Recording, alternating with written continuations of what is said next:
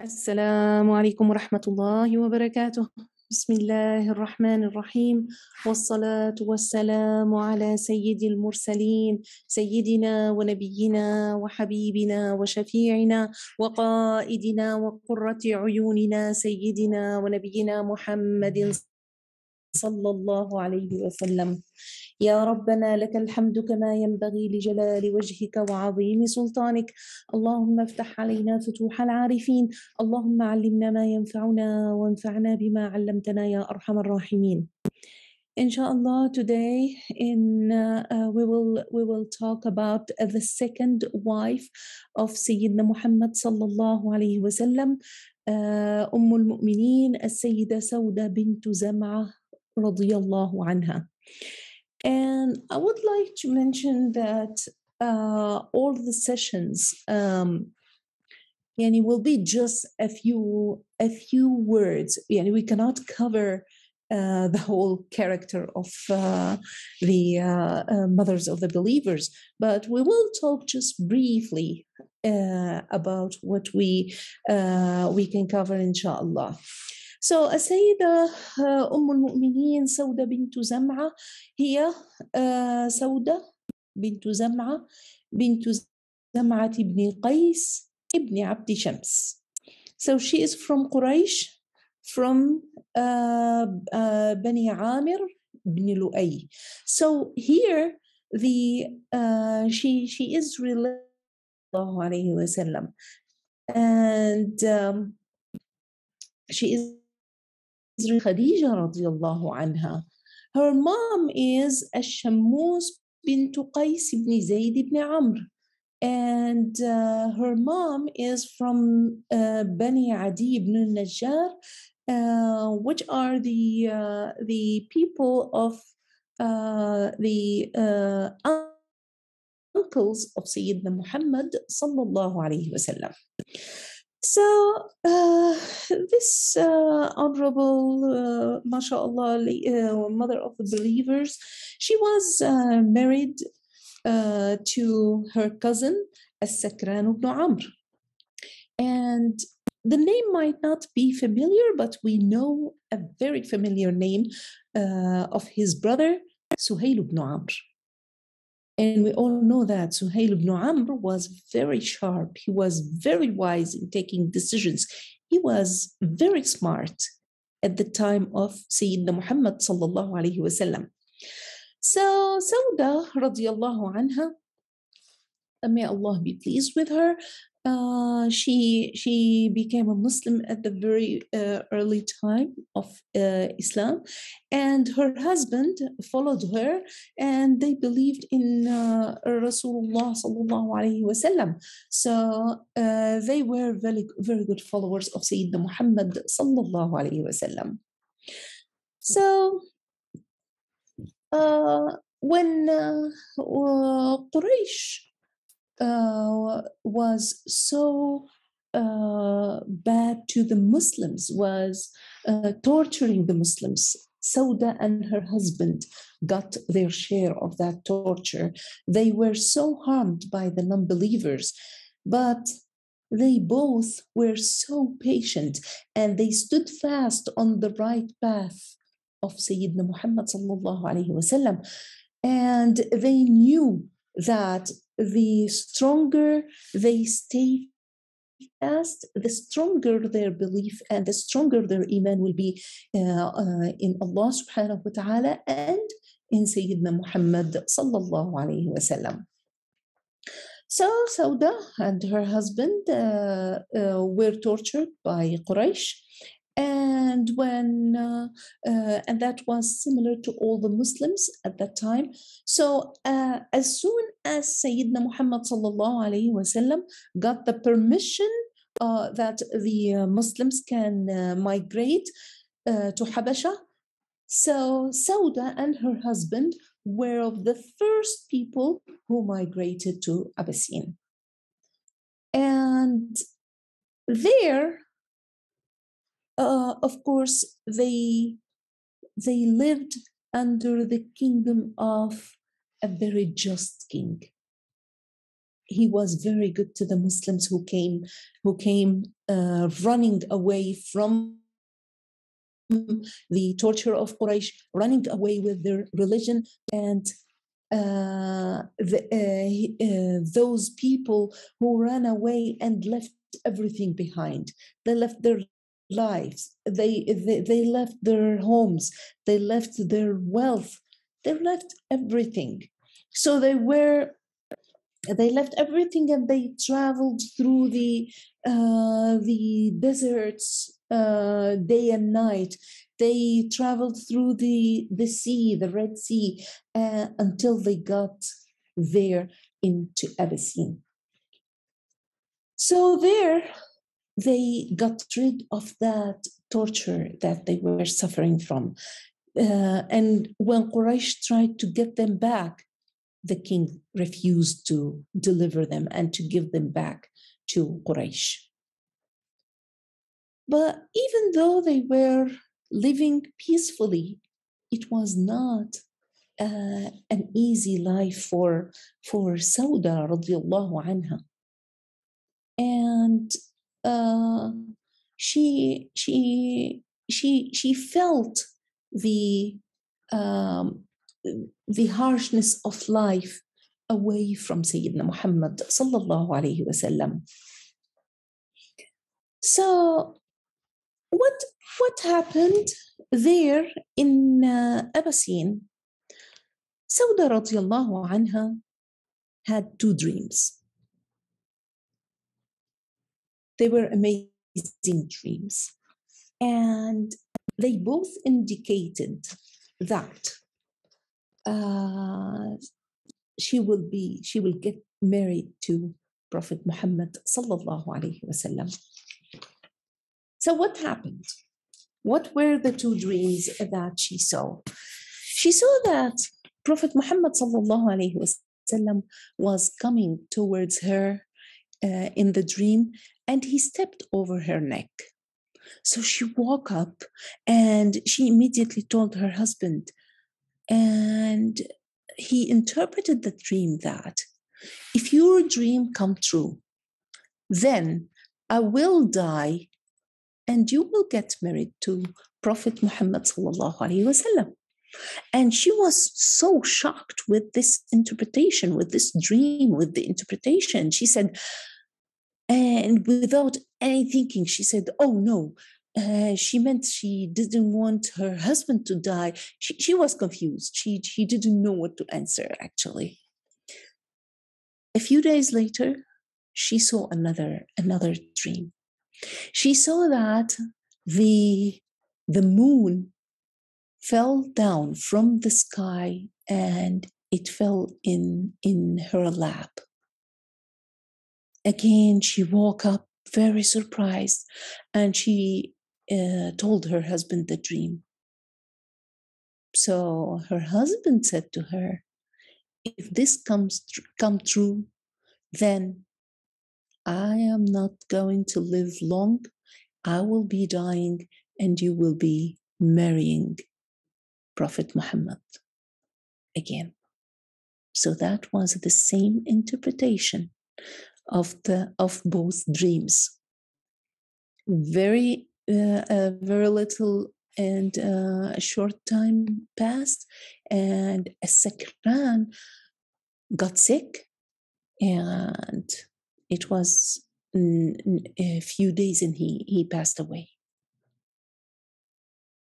So Sauda was left in uh, by herself, taking care of her children, raising her children uh, very uh, uh, uh, wisely. She she raised them on the uh, right right path. She wanted them to to be very strong, to have very strong faith. She wanted them to to be very good Muslims, so that they would fulfill the prophecy of Sayyidina Muhammad sallallahu alaihi wasallam that they uh, she wanted them to be coolness of an eye to Sayyidina Muhammad sallallahu alaihi wasallam. So this is how we mothers should should be raising our children. We should follow this role. This we should we should take as Sayyida أم المؤمنين سودة رضي الله عنها as our model. The, her only concern was to have, to raise very good Muslims. And in this, in this time, during the, this time that we are living in, there are so many arrows that are thrown against Muslims. but when we raise them since they are young on the right path, uh, and, and they see us as good models, then they will have enough uh, enough sustain that will help them when there are problems. So their strong relationship with Allah subhanahu wa ta'ala will save them at times of calamities. This is how we should raise good children that will be coolness of an eye to Sayyidina Muhammad sallallahu alayhi wasallam. So Sayyida Sauda radiallahu anha came back to Medina. Uh, uh, sorry, came back to Mecca.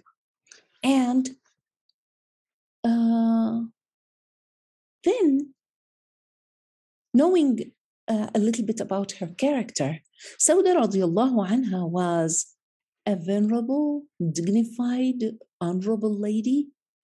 She was a huge in body, she was heavy, tall, but she was so kind, so generous, so pious. And uh, she the Prophet Muhammad sallallahu alaihi wasallam married her. And that happened when she was over 50 years old. Now let's see how that marriage happened. So Sayyidina Muhammad sallallahu alayhi wasallam, after the death of Khadija radiallahu anha, he was alone taking care of the family and doing his uh, duty, delivering the message of Allah subhanahu wa ta'ala. So there was uh, uh, one of the female companions. Her name was Khawla bint Hakim, and she was the matchmaker for this marriage that uh, that happened. So Khawla bint Hakim uh, uh, was the the wife of Uthman ibn Maz'un, very loving com- uh, companions to Sayyidina Muhammad. People who who migrated to Habasha, and they were from the very first people who came back also to, to be in Mecca uh, facing Quraysh and uh, uh, getting the people of Mecca who did not migrate, uh, uh, uh, getting them stronger and supporting them. So this righteous woman, Khawla bint Hakim, she knew what what was happening to Sayyidina Muhammad sallallahu alaihi wasallam. He lost his his dear wife. He lost his uncle. He he had the problem of a ta'if, and all of that she uh, knowing what what's going on she she was uh, strong enough just to go to Sayyidina Muhammad sallallahu alaihi wasallam and talk to him so she said Ya Rasulullah why you do not get married so Sayyidina Muhammad sallallahu alaihi wasallam said to her in a sad voice ومن بعد خديجة يا خولة who's after Khadija? Ya Khawla, that I can take as a wife. Khawla knew how Sayyidina Muhammad sallallahu wasallam feel towards, uh, towards Khadija radiallahu anha. So she wanted to get over this, this point and, see, and she said, if you want, there is a virgin and there is uh, a widow. She was married previously and uh, her husband passed away and uh, he left her uh, her sons to take care of. So she said uh, Sayyidina Muhammad sallallahu said tell me who is the virgin? And Khawla immediately answered she, she said she is the daughter of the most beloved people to you she is Aisha, the daughter of Abu Bakr. So Sayyidina Muhammad wasallam was silent for some time. Then he said, Who is the widow?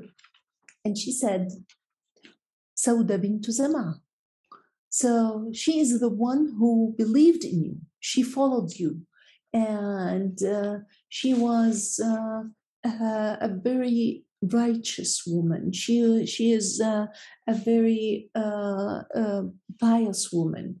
She is raising her children after after her husband passed away. And Sayyidina Muhammad wasallam was got got uh, the feelings of mercy towards Sauda and uh, the, knowing that she is the the widow of uh, the the one of the of his uh, companions uh, who who who with her uh, suffered a lot until they migrated. So when she came back, she came back with her children, and she she came back to to live with her father, who was a very old man. He was blind, and he wanted to do his best to take care of his uh, uh, daughter and uh, her children so that he can yeah i mean he can do a little bit just to make them forget the sorrow that they were living in so Sayyidina Muhammad sallallahu alayhi wasallam said, had so much uh, uh, merciful feelings towards her. And he looked at Khawla and he said, okay, go to her and mention to her that I am asking her for marriage. And uh, at, at that time, Khawla said, Okay, I will do Ya Rasulullah. And she suggested that he also uh, uh, proposed to Aisha radiallahu anha and waits for her until she gets to the age and then he gets married. So Sayyidina, uh, uh, Sayyidina Muhammad sallallahu alayhi wasallam uh, said, okay, and he sent Sauda, uh, he sent uh, Khawla uh, to Sauda radiallahu anha so that she would um, visit her and say what she want. So when uh, Khawla radiallahu anha came to Sauda, Umm al-Mu'mineen, the mother of believers, uh, she, she said to her what Sayyidina Muhammad sallallahu alayhi wasallam has sent her for. And immediately, without hesitation, without thinking, Sauda radiallahu anha said, Yes. And she was very happy with, with this honor that she, she had an idea about and it came true. So her dreams now are fulfilled. So what happened? Uh, she said to her, Go tell my father. And uh, Khawla radiallahu anha uh, came to her father. She, she, went, uh, she went to the other room and she said to him, Allah subhanahu wa ta'ala has blessed you with so much barakah, so, many, so much blessings. And he said to her, What's that? And she mentioned that uh, uh, she mentioned that Muhammad ibn Abdul, Abdullah ibn Abdul Muttalib sent me to ask for uh, to ask you to uh, for the marriage of your daughter. So he said, هو كفء كريم. He is a good match. He is a very a very blessed man. He's a good match. But what does uh, your your friend say? So she said, oh she she loved that so her father approved it, and he said to her, uh, send, uh, let, let them come and uh, the marriage will, will take place, inshallah. So one of her brothers, Abdullah ibn Zam'a, uh, was not a Muslim yet. So when he found out that her sister got married to Sayyidina Muhammad sallallahu alayhi wa that his sister got married to Sayyidina Muhammad sallallahu alayhi wasallam, he took some dirt and he put it on his head and uh, he, he was so upset. Why would that happen? But later on, when he became a Muslim, he said, Oh my God, how ridiculous I was just to put that dirt on my head. And uh, because uh, the best of the create, the best of uh, people got married to my to my sister. So he he was uh, making fun of himself how how he did how he did that. So Sayyidina Muhammad sallallahu alayhi wasallam uh, lived with uh, uh, uh, Sauda radiallahu anha, and he lived three years with her. So one day, Sayyidina Muhammad sallallahu alayhi wasallam um, after after he got married to uh, Aisha radiallahu anha, he he noticed uh, that Sauda radiallahu anha was uh, taking it so heavily on herself that she said to him, Ya Rasulullah, I am an old lady and I I don't feel uh, the uh, relation of a husband and a wife. Um, and he, sallallahu alaihi wasallam, thought of divorcing her. But she said, Ya Rasulullah, I would give my night to Aisha radiallahu anha and just to keep me as your wife. So when I die uh, and when I am resurrected, uh, in the next life, I will be resurrected as, the, as your wife. And Sayyidina Muhammad sallallahu alayhi wasallam agreed to that. And that was uh, uh, actually uh, of uh, a wisdom and how smart she was to do that. Now, um, we, we said that uh, we mentioned that uh, uh, Sauda was uh, an old an old lady, uh, a heavy lady, but she was a funny lady. The only thing that would make her happy was to find a smile on the face of Sayyidina Muhammad sallallahu alaihi wasallam, her beloved. So she would, uh, she she had um, uh, uh, so that lady, this uh, uh, Umm, uh, Sayyidah Sauda Umm al-Mu'mineen, she was a light-hearted woman. Despite the heaviness of her movement, she she was a funny woman. And uh, so her wit, what uh, we'll, we'll, talk about that. So one time, uh, Sayyida Hafsa and Sayyida Aisha wanted to tease her, and they knew that she was always so scared and so afraid of the Dajjal, the Antichrist. And one day, Sayyida Hafsa radiallahu anha and Sayyida Aisha radiallahu anha, the two wives of Sayyidina Muhammad sallallahu alayhi wasallam. So they wanted to, to uh, tease the uh, Sayyida Sauda radiallahu anha.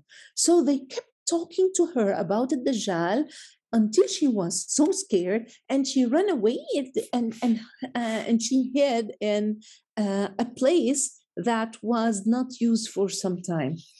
So Hafsa radiallahu anha and Aisha were they were laughing and suddenly Sayyidina Muhammad sallallahu got in into the house. and he saw them laughing and he said hey what's going on what have you done so they told they both told told him what uh, they did and what they said to Sauda and how she ran away so when she when Sauda uh, uh, knew that Sayyidina Muhammad sallallahu when she felt when she heard his voice and felt that he is here so she said Ya Rasulullah is is Dajjal out? Is he is he here? Is he coming so he said no. So she was she was happy and she she came out of the place she she uh, she hid in and she was uh, just uh, getting her cleaning herself of the uh, spider webs that uh, that she got over her. So this was her wit and her love to Sayyidina Muhammad sallallahu alaihi wasallam. She always wanted him to be happy. She would do her best always to say anything that would make him happy. One time he was uh, praying at night and she followed him. So she said, he, it was a long uh, um, uh, prayer so Sayyidina Muhammad sallallahu alaihi wasallam made a long ruku and a long sujood, and she, when she uh, uh, finished, she said, "Oh Ya Rasulullah, I was holding my nose so that it doesn't bleed." And of course, she she wanted just to make it in a funny way that uh, you made it so long, Ya Rasulullah. And she was laughing. He was, uh, uh, Sayyidina Muhammad sallallahu alaihi wasallam was smiling, and that would make her so happy. Uh, now, if we are to talk about an important thing, so her during her life, the uh, we said she lived about three years with Sayyidina Muhammad wasallam before he got uh, married again, and with all the events that happened during these three years, with everything that happened, Sauda radiallahu anha narrated only five hadith to Sayyidina Muhammad sallallahu alayhi wasallam. And the Sahaba, the companions, narrated through her. They got the chain through her through these five hadith. So uh, one time uh, she uh, the, the, and that was during uh, the the Hajj of Sayyidina Muhammad sallallahu alaihi wasallam, and when uh, when uh, Sayyidina Muhammad sallallahu alaihi wasallam uh, went to Hajj, he got all his wives with him, and when they were in Muzdalifah, uh, Sauda radiallahu anha being uh, heavy and her movement is a little slow, so she asked permission to, from Sayyidina Muhammad sallallahu alayhi wasallam that she would go back before uh, people would uh, go back. So Sayyidina Muhammad sallallahu alayhi wasallam asked, asked Ibn Abbas just to take her and to take a few older ladies, also old, uh, older people, just to take them before everyone else. Another hadith that um, she narrated, uh, uh, she said, uh, يبعث الناس حفاة عراة غرلا قد ألجمهم العرق. So on the day of judgment, people will be resurrected naked. There will be uh, um, covered with sweat and according to their deeds and uh, but she said ya rasulullah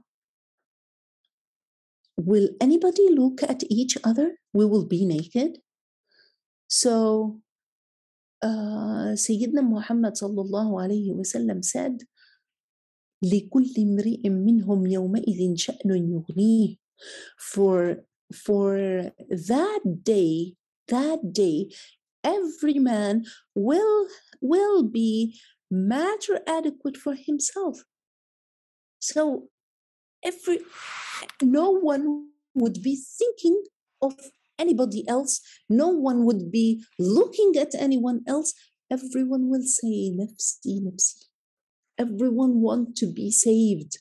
Everyone is in uh, uh, afraid of what's gonna happen on that day. So no one will be looking at each other. No one. Another hadith that was narrated by Umm al-Mu'mineen radiyallahu anha uh, uh, that Sayyidina Muhammad sallallahu alayhi wasallam said, if sheep, a sheep died before slaughtering it, then the meat would be, uh, uh, it's not lawful to eat that meat. So that meat should be thrown away.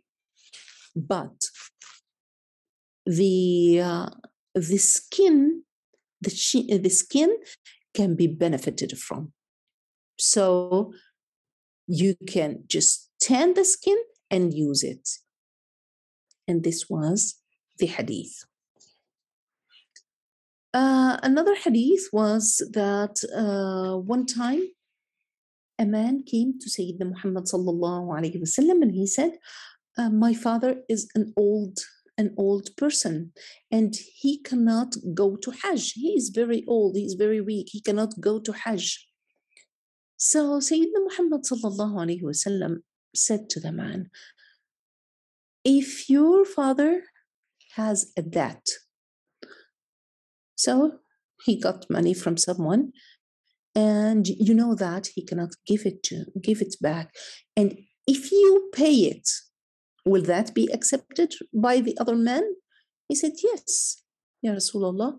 So Sayyidina Muhammad sallallahu alayhi wasallam said, فَاللَّهُ أَرْحَمْ Allah subhanahu wa ta'ala is the most merciful. Hujja an abik. Do pilgrimage, make Hajj uh, with the intention uh, of your father. So do it instead of your father with the intention that you are doing it for your father. So, subhanAllah, these, uh, uh, these were some of the points that uh, Sayyida Sauda radiallahu anha uh, had with Sayyidina Muhammad sallallahu alayhi wasallam. And now, if we want to go a little further, we can talk about how generous Sayyida Sauda was. So, uh, the there are so many uh, narrations that would talk about how uh, uh, Umm al-Mu'mineen Sauda radiallahu anha was. She was very generous. She was a giver. And she would give a lot of sadaqah. One time, Sayyidina Umar ibn al-Khattab radiallahu an, uh, after uh, so so he sent her uh, ghirara, and the ghirara is uh, a pot that the money uh, that uh, food will be put in. So he instead of the money, he put money, he put darahim in that pot, and she said, uh, so he sent that uh, money to Sauda radiallahu anha. So she, she asked, what is this? And they told her it's money that uh, Sayyidina Umar radiallahu anh sent you. So she said, did he put it in a pot like the one that we use for dates? And and she did not keep one single piece of that money. She, she gave it all to the poor people. So, Sauda was one of the most generous uh, uh, ladies, one of the most generous females, female companions, uh, one of the most generous uh, mother of the believers in uh, at the time uh, uh, during her life. Uh, and of course, she was a very loving uh, uh, wife to her husband. She just wanted to comfort him. She took care of him and his family when she got married. She was very loved by Aisha radiallahu anha.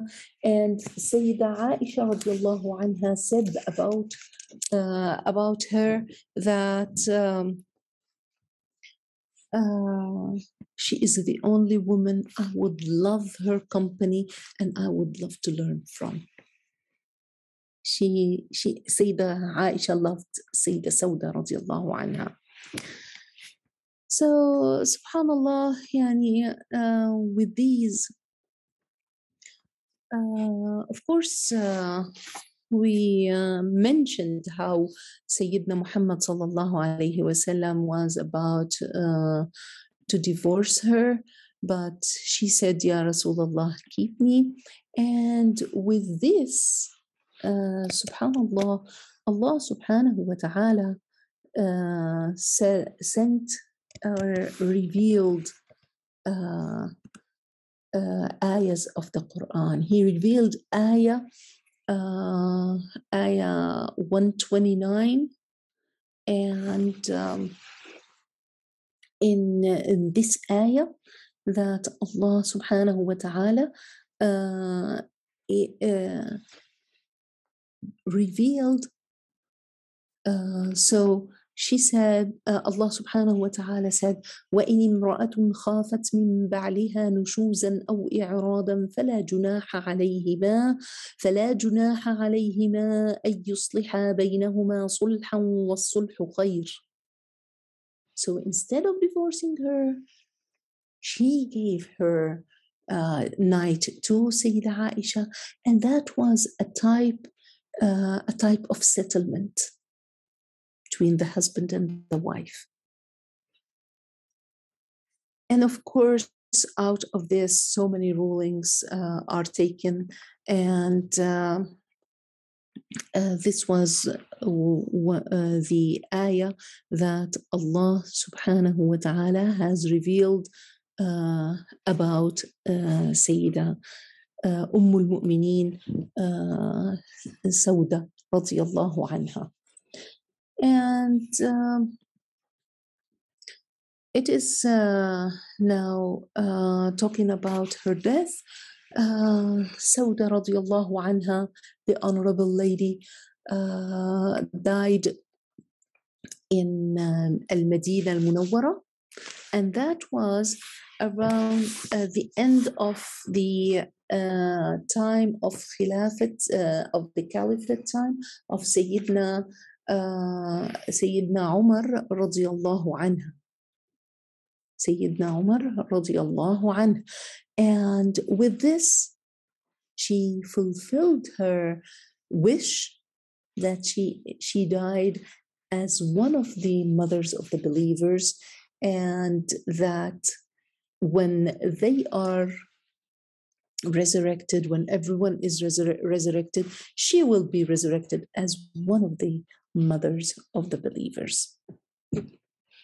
So, with this, uh, with this, uh, uh, uh, يعني it, it was just a very quick uh, overview on the uh, character of Sayyida أم المؤمنين خولة uh, uh, سيدة سودة رضي الله عنها اللهم يا أرحم الراحمين اجعلها قدوة لنا we ask Allah subhanahu wa ta'ala to make her as a model for us. She's, she's a school. We can learn a lot from uh, Umm al-Mu'mineen Sauda radiallahu anha. We can learn how we can, how we can as women be good hus- good wives to our husbands, righteous, righteous, good wives. Whose aim is to please their husbands, to make their husbands happy. When when the husband and wife are happy, then the family is happy. And when families are happy, then the society is happy. And when when everyone is happy, then there will be productive society. There will be Islamic society. There will be a society that will go on the right path of Sayyidina Muhammad sallallahu alaihi wasallam. There will be mothers who know how to raise their children on the right path. There will be mothers who will who will m- make the the creed of their children stronger. When they see their moms as a model, then they will know what a good character is. So from Umm al-Mu'mineen Sauda radiallahu anha, we will learn the values. We will learn the, the important steps, corner steps that we have to have in our lives. So يا الله اللهم اللهم اجمعنا مع مع معها في أعلى عليين تحت ظل حبيبك المصطفى يا أرحم الراحمين. We ask you, Ya Allah, to gather us with Umm al-Mu'mineen Sauda radiallahu anha under the banner of our beloved Habib sallallahu alayhi wasallam. With this, yani, uh, I would like to end our session for this week. Inshallah, we will meet next week talking about another character, about another uh, uh, another mother of the believers. So we will be learning about from the best people about how to be, how to emulate, how to imitate these amazing characters. And until then, I'll leave you, inshallah, with spe- special greetings and salams. And we all would send our best salam and greetings to Sayyidina Muhammad sallallahu alayhi wa sallam. Wassalamu alaikum wa rahmatullahi wa barakatuh.